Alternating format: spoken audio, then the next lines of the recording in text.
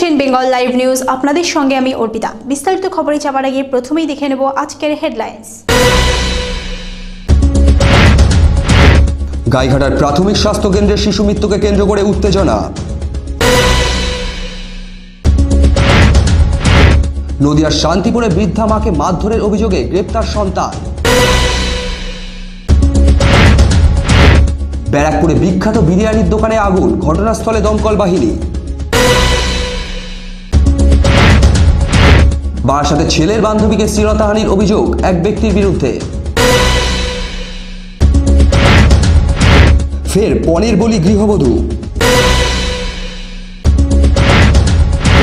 বনগায় ফের অবৈধ গ্যাস কারবারের হদিশ। বনগাঁ ও নদিয়া জেলার বেশ কিছু এলাকাতে আঠেরোই আগস্ট পালিত হয় স্বাধীনতা দিবস। মনসা পুজোর ঝামেলার জেরে অবসাদে আত্মহত্যার চেষ্টা যুবকের। আগুন লেগে ক্ষতিগ্রস্ত হল দুটি দোকান। ঘটনাটি উত্তর চব্বিশ পরগনার ব্যারাকপুরের। প্রথম আগুন লাগে একটি বিরিয়ানির দোকানে। তা দেখতে পেয়ে দোকানের মালিক ও দমকলকে খবর দেয় স্থানীয়রা। পরে পাশের একটি জুতোর দোকানে ছড়িয়ে পড়ে আগুন। শর্ট সার্কিট থেকে আগুন লেগেছে বলে প্রাথমিক অনুমান। তদন্ত শুরু করেছে পুলিশ। স্থানীয়দের দাবি বিরিয়ানির দোকানের এসি থেকেই আগুন লাগে। ভেতরে থাকা আসবাবপত্র ও বেশ কিছু সরঞ্জাম পুড়ে যায়। তবে কোনো কর্মী সেই সময় দোকানে না থাকায় হতাহতের কোনো খবর আসেনি। সকালে ভোর ফোন যায় যে দোকানের সাইডে আগুন লেগেছে। ইলেকট্রিক শর্ট সার্কিটে আগুন লেগেছে দোকানের বাইরে। জুতো দোকান আর আমার দোকানে মাঝামাঝি জায়গা। ক্ষয়ক্ষতি করিনি। ক্ষয়ক্ষতি কিসের থেকে লেগেছে বলে ইলেকট্রিক শর্ট সার্কিট। উনিশশো সালের পনেরোই আগস্ট গোটা দেশ যখন স্বাধীনতার স্বাদে উৎফুল্ল তখন বনগা এলাকায় উঠছে পাকিস্তানের পতাকা। খবর আসে এই এলাকাটি বিভক্ত হয়েছে পূর্ব পাকিস্তানের মধ্যে।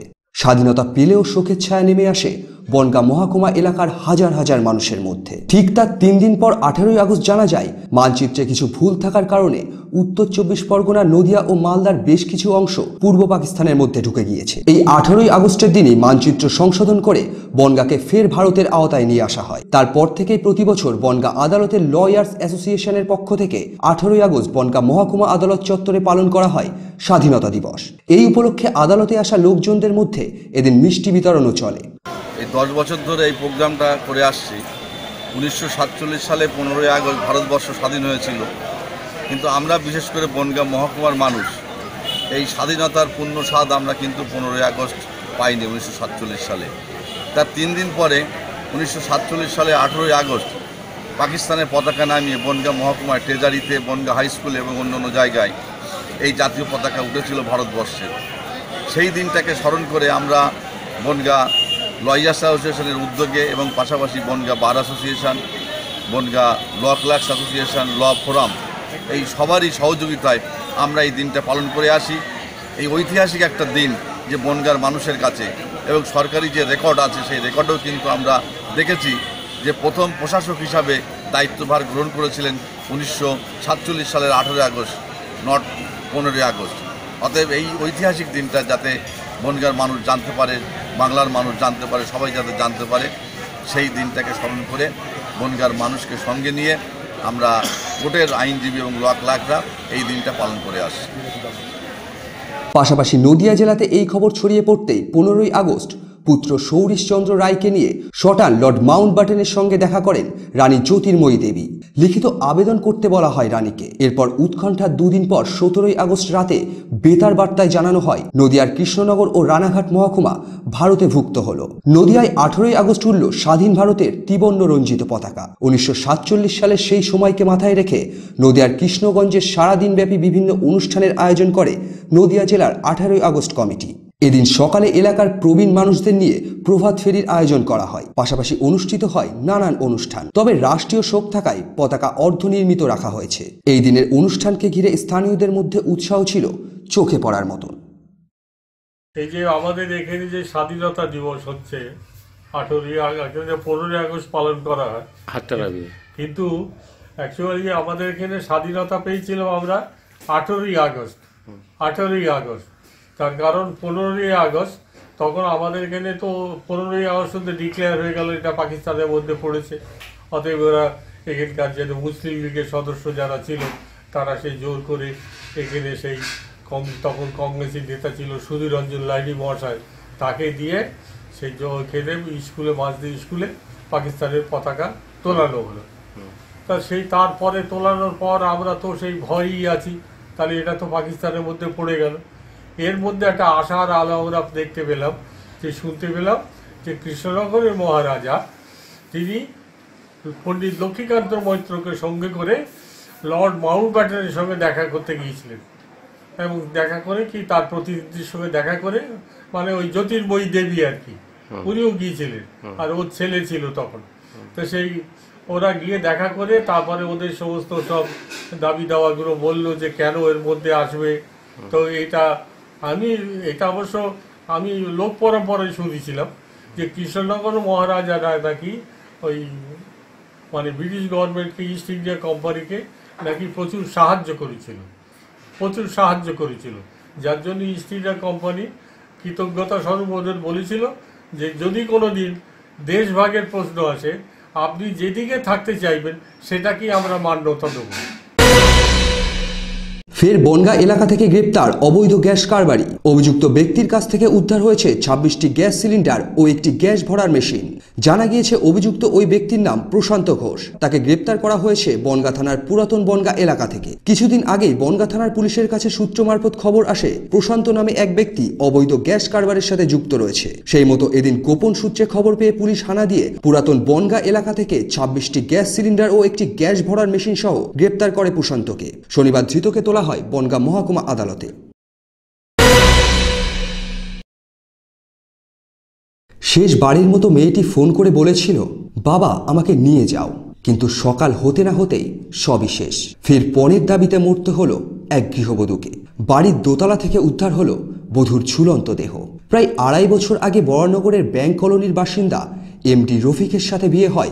খিদিরপুরের বাসিন্দা শাহানাজের তাদের দেড় বছরের একটি কন্যা সন্তানও রয়েছে। পরিবারের অভিযোগ বিয়ের তিন মাস পর থেকেই পণের জন্য তাদের মেয়ের উপর অত্যাচার করত তার স্বামী ও শ্বশুর বাড়ির লোকেরা। মাঝে মধ্যেই বাপের বাড়ি থেকে টাকা আনার জন্য চাপ দেয়া হতো ওই বধূকে। কিন্তু তা না আনতে পারলে জুটত নির্মম অত্যাচার। মৃতের পরিবারের অভিযোগ, বেশ কিছুদিন হলো তাদের জামাই একটি চার চাকা গাড়ি দাবি করে। শাহানাজের বাবা কিছুদিন পর গাড়িটি দেওয়ার কথা বললেও মানতে নারাজ রফিক। এই কারণে গত তিন দিন ধরে স্বামী স্ত্রীর মধ্যে অশান্তি চরমে। এরপর শুক্রবার সকালে ওই গৃহবধূর পরিবারে খবর আসে, তাদের মেয়ে আত্মহত্যা করেছে। কিন্তু পরিবারের অভিযোগ, তাদের মেয়েকে মেরে ফেলে ঝুলিয়ে দেওয়া হয়েছে। এই ঘটনায় বরানগর থানায় লিখিত অভিযোগ দায়ের করা হলে পুলিশ তদন্তে নেমে অভিযুক্ত স্বামীকে গ্রেপ্তার করেছে।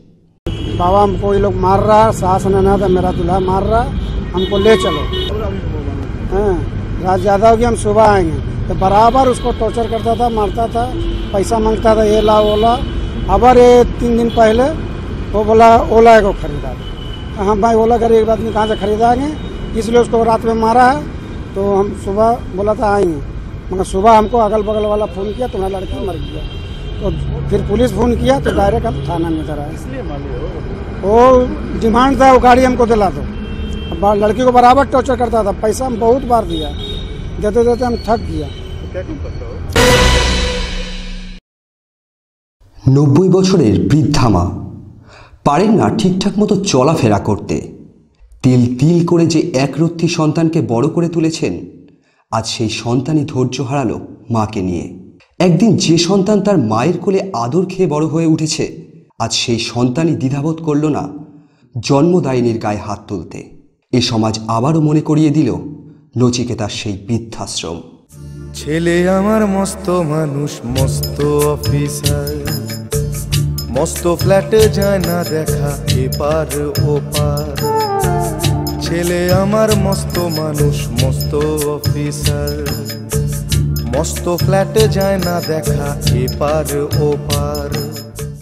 ঘটনাটি ঘটেছে নদিয়ার শান্তিপুরের করমচাপুর এলাকায়। আক্রান্ত বৃদ্ধার নাম চঞ্চলা দাস। বৃদ্ধা চঞ্চলা দেবীর দুই ছেলে।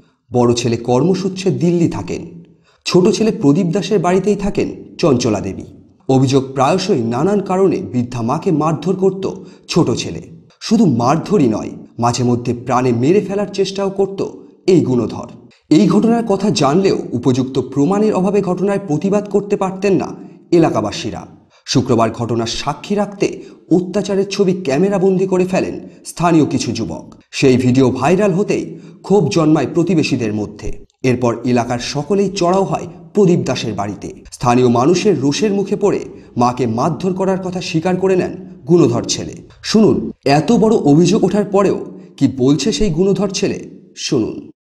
আপনি কেন মারছিলেন? মা- মাকে মারছিলাম মা অন্যায় ভাবে ধুলো মালা মারছে প্রতিদিন স্নান করা এই করে তারপরে এরকম করছে তাই আমি ই করেছি। বয়স্ক মানুষ অন্যায় তো উনি তো বয়স হয়েছে। হ্যাঁ বয়স তো হয়েছে। এইভাবে মারতে হবে তা বলে? না না না মারার ব্যাপারটা তো আছেই। আমি মানে আপনি মারতে পারেন, তাই তো? হ্যাঁ? না না মারতে পারব কেন আমি? আপনি মারতে পারেন তাই তো? না না মারতে পারব না। তাহলে মেরেছেন কেন? আমার ধৈর্যের সীমা পেরিয়ে গেছে খবর দেওয়া হয় শান্তিপুর থানাতে। পরে পুলিশ এসে প্রদীপ দাসকে গ্রেপ্তার করে নিয়ে যায়। শনিবার প্রদীপ দাসকে রানাঘাট মহকুমা আদালতে তোলা হয়েছে। সময় এখন ছোট্ট একটা বিরতি। দেখতে থাকুন Bengal live news.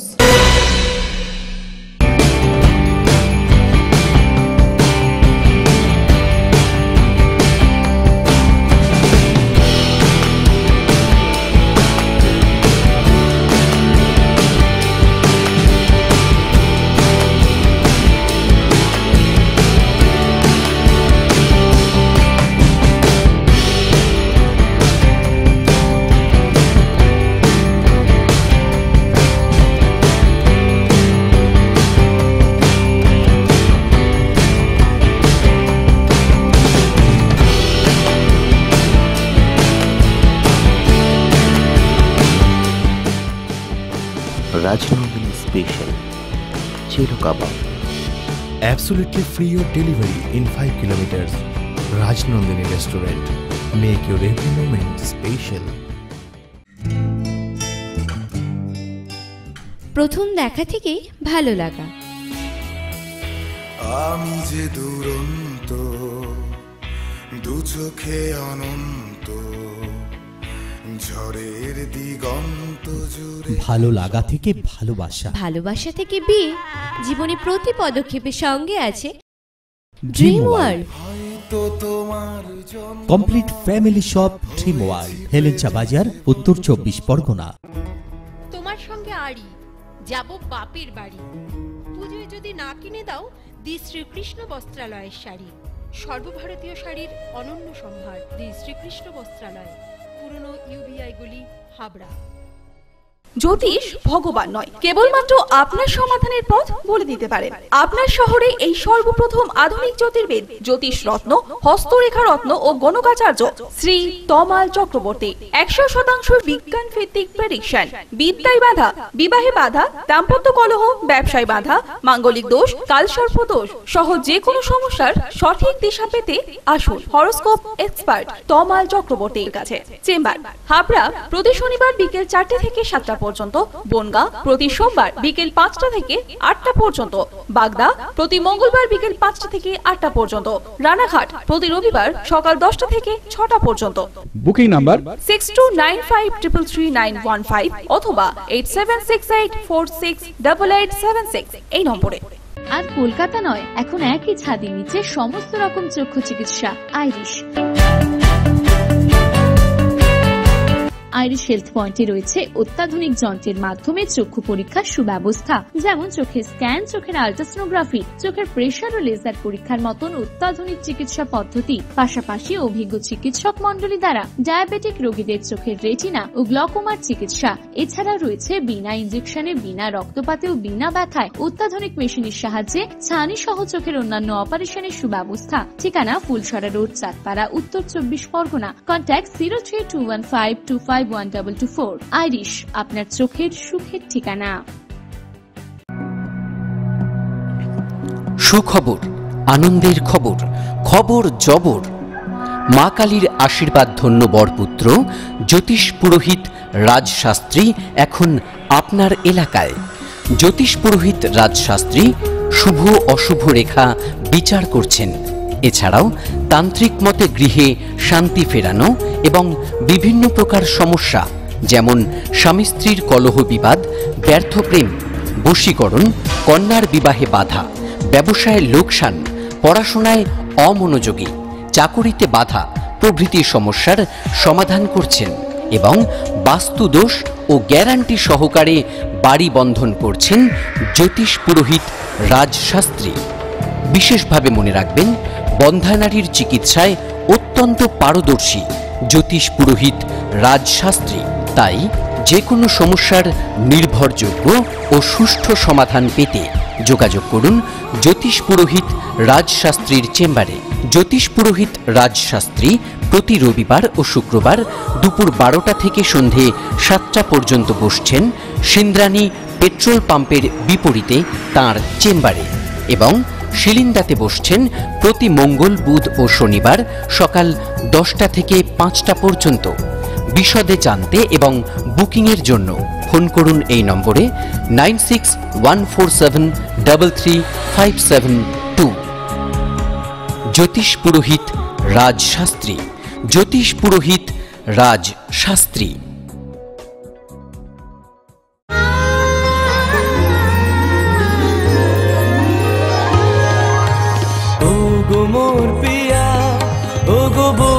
সুন্দরী, নব নব রূপে আসো আহা মরি মরি তুমি অন্তরে যতনে থেকো মোর সোনার করি তোমার অলঙ্কারে পূর্ণ তোমার রূপ মাধুরী।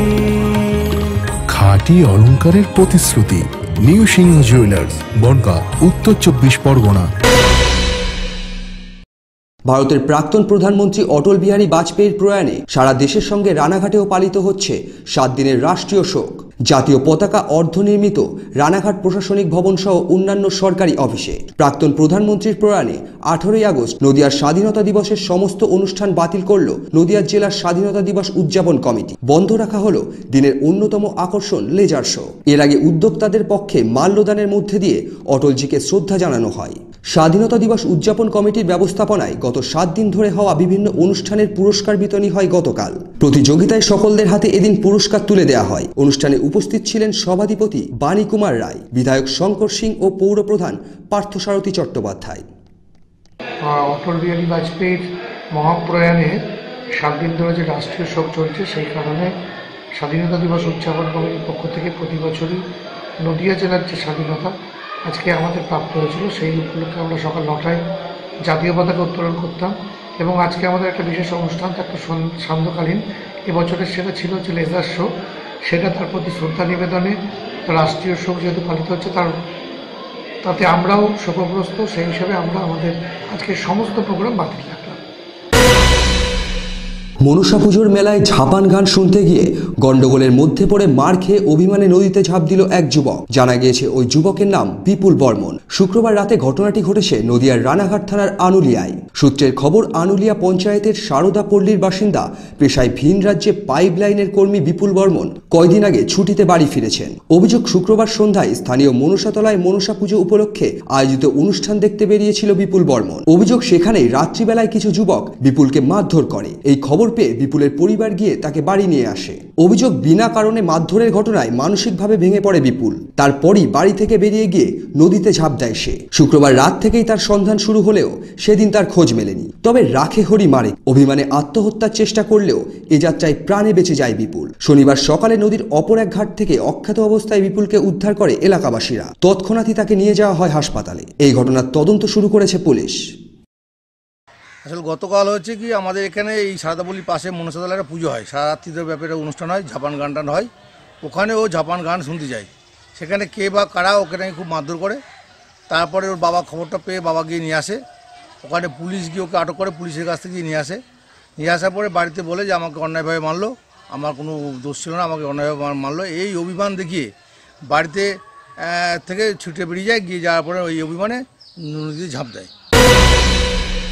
উত্তর চব্বিশ পরগনার বাগদা ব্লকের সিনজানি আঞ্চলিক যুব সংস্থার উদ্যোগে সিনজানি ও মালিপতা গ্রাম পঞ্চায়েতে এলাকার বারোটি ফুটবল দলকে নিয়ে সিনজানি সাবিত্রী উচ্চ বিদ্যালয়ের মাঠে গত জুন মাসের চব্বিশ তারিখ থেকে শুরু হয়েছিল মৈত্রী কাপ প্রায় দু মাস ধরে চলা এই ফুটবল টুর্নামেন্টের জমকালো ফাইনালে উপস্থিত ছিলেন প্রাক্তন ফুটবলার খেলোয়াড় প্রদীপ ঘোষ, বিমান ঘোষ, লক্ষণ হালদার ও গোপাল মণ্ডল। এছাড়াও উপস্থিত ছিলেন বাগদা পশ্চিম ব্লকের অরব বিদ্যালয়ের পরিদর্শক মিলন কান্তি পাল। ছিলেন সিন্দ্রানী আঞ্চলিক যুব সংস্থার সম্পাদক নিখিল বিশ্বাস সহ ক্লাবের কর্মকর্তারা। ফাইনাল ম্যাচে সিন্দ্রানী সাবিত্রী উচ্চ বিদ্যালয়ের মাঠে চরমণ্ডল পল্লী উন্নয়ন সংস্থা ও হরিনগর যুব শক্তি সংঘ অংশগ্রহণ করে। এদিনের ফাইনাল ম্যাচে দর্শকদের উপস্থিতি ছিল চোখে পড়ার মতো। তৃতীয় বছরে বলল মৈত্রী ফুটবল অঞ্চল অংশগ্রহণ করেছে সিন্দানি অঞ্চল মালিকতা অঞ্চল। এটার মূল উদ্দেশ্য হচ্ছে খেলোয়াড় তৈরি করা। দেখে যারা উৎসাহিত হয় যে ছোটো ছোটো খুদে খেলোয়াড়গুলো আছে তাদেরকে তাদেরকে আজকে উৎসাহিত করা হচ্ছে মূল উদ্দেশ্য কতদিন ধরে চলল আপনাদের খেলা? প্রায় দু মাস। আজকে ফাইনালে কারা অংশগ্রহণ হরিনগর যুবশক্তি সংঘ চরমণ্ডল পল্লী উন্নয়ন সংস্থা।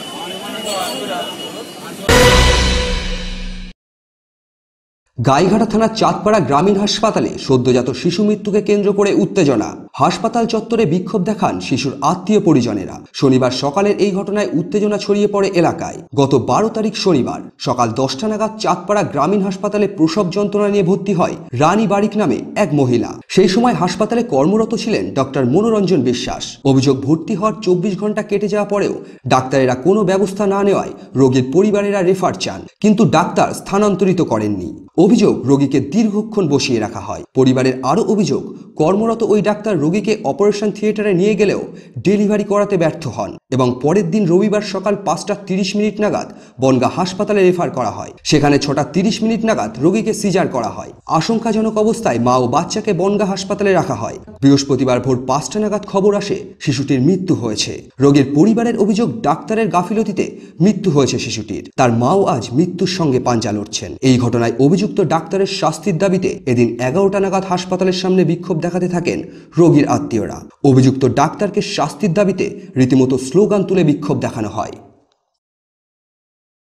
আমরা পনেরো দশটার সময় ভর্তি করেছি বারো তারিখে শনিবার। বারো তারিখ শনিবারে ভর্তি করার পরে উনি যখন দশটা বাজে তখন আমরা বলছি যে এর ক্যালেস্টেল লিখুন ডাক্তারবাবু এই যাবে না ওরা তিন চারজন করে যাচ্ছে আর ইচ্ছা মতো ঘা খুশি করছে আমরা বলছি এবার আমরা এখানে থাকব না। হয় আমরা নার্সিং নেব। না বন্ধায় ভর্তি করে বলছে না তা হওয়ার এখানে হবে। আমাদের মনে কোনো দামই যাচ্ছে না আমরা পায়ে হাত পা জড়িয়ে যাচ্ছি তাও শুনছে না তারপরে? এক একজন এক এক মাত্র পাওয়ার আমাদের এ করছে। তারপর যখন আর ওরা আর এলে তখন এখান থেকে আগে ছটা ছটা হয়তো দশ মিনিট বাকি আছে আমার অত তখন আমাদের তারপর এখান থেকে বেরিয়ে এখান থেকে আমরা একটা সঙ্গে দাও দিল। ওরা বলল কেস করে তারপর কেস করে। আমাদের তখন আমাদের জ্ঞান নিয়ে যাবে বাচ্চার মাথা তো ইনফেকশন হয়ে যায় মানে এখানে ঝুলে গেছে ধরে বের করে আবার ঢুকিয়ে দিয়েছে বাচ্চা দিয়ে এখান থেকে বেরিয়ে দিয়েছে মানে বাচ্চা মাথা বের করে ঢুকিয়ে দেখেন তো বেরিয়ে নেই হ্যাঁ তারপরে? মাথা বের করে ঢুকিয়ে দিয়ে তাই বছর তারপর সেলাই দিয়ে বেরিয়ে দিয়েছে। ছেলের বান্ধবী নাবালিকা ছাত্রীকে শ্লীলতাহানির অভিযোগ উঠল পিন্টু রায় নামে এক যুবকের বিরুদ্ধে। ঘটনার লিখিত অভিযোগ জমা পড়ে বারাসাত থানায়। পুলিশ গ্রেপ্তার করেছে অভিযুক্ত পিন্টু রায়কে। পরিবারের অভিযোগ, নবম শ্রেণির ওই ছাত্রীকে বিভিন্ন সময় ভয় দেখিয়ে ও টাকার লোভ দেখিয়ে কটুক্তি করত অভিযুক্ত পিন্টু। বৃহস্পতিবার রাতে হৃদয়পুরের শিবতলা এলাকার বাসিন্দা পিন্টু ও তার পাশের ভাড়াটিয়ার সাথে ঝামেলা বাঁধলে নাবালিকাকে শ্লীলতাহানির কথা সকলকে জানিয়ে দেয় ওই ভাড়াটিয়া। তারপরে ওই ছাত্রীর পরিবারের সদস্যরা নাবালিকাকে জিজ্ঞাসাবাদ করলে ওই ছাত্রী সমস্ত বিষয় তার পরিবারকে জানায়। শুক্রবার রাতে পরিবারের সদস্যরা জানতে পেরে অভিযুক্ত পিন্টুকে পুলিশের হাতে তুলে দেয়। শনিবার সকালে বারাসাত থানায় লিখিত অভিযোগ দায়ের করেন তার পরিবারের লোকেরা। এলাকাবাসীরা জানান, পঁয়তাল্লিশ বছর বয়সী পিন্টু রায় পেশায় মাছ ব্যবসায়ী। বিভিন্ন সময় সে মহিলাদের কটূক্তি করত। নাবালিকা জানান পিন্টু রায় ছেলের সাথে একই শ্রেণীতে পড়াশুনো করার জন্য তার বাড়িতে বিভিন্ন কাজে যেত। সেই সময় ওই নাবালিকাকে কুটুক্তি ও শ্লীলতাহানি করে। বিষয়টি জানালে ভয় দেখাতো পিন্টু। অভিযুক্ত পিন্টু রায়কে শনিবার বারাসাত আদালতে হাজির করা হয়। ছেলেটা মানে মেয়েটাকে শ্লীলতাহানি করেছে। সেই বয়স্ক লোক। কি নাম? পঁয়তাল্লিশ বছর বয়স পিন্টু ওনার যে ছোট ছেলে আছে সে তার সঙ্গে এই মেয়েটি একসাথে পড়াশুনো করে এবং তার বাড়িতে পড়াশুনোর জন্য যেত হ্যাঁ লেখা টেখা থাকলে প্রজেক্ট করার জন্য এই সমস্ত যেত এই সুযোগটা তার বাবা নিয়েছে। পঁয়তাল্লিশ বছর বয়সে যে লোক পিন্টু রায় তাকে মানে শ্লীলতাহানি করেছে এবং তাকে ভয় দেখাতো যে বললে পরে তোকেই পুলিশে ধরে নিয়ে যাবে তুই বাচ্চা মেয়ে। টাকার লোভ দেখাতো। এমনিতেই পাড়ার অনেক মহিলাদেরও সে নাম নিয়েছে। এবং তার একটি বাজারে সে ব্যবসা করে মাছের ব্যবসা সবজির ব্যবসা এবং ওখান থেকে কেউ হেঁটে যেতে পারে না। বউদের হোক মেয়েদের হোক টোন টিটকারি কাটে। বাজে বাজে ভাষা কথা বলে। বেঙ্গল লাইভ নিউজ এখনকার মতো এই পর্যন্তই। আপনারা দেখছেন বেঙ্গল লাইভ নিউজ।